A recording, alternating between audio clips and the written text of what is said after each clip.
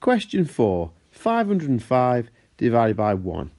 Well, anytime you divide by 1, you always end up with just the number that you started with. So, for example, 5 divided by 1 is 5, 7 divided by 1 is 7, 23 divided by 1 is 23. Even with larger numbers, that still is the case. So 642 divided by 1 is 642, and 17,498 divided by 1 would be 17,498.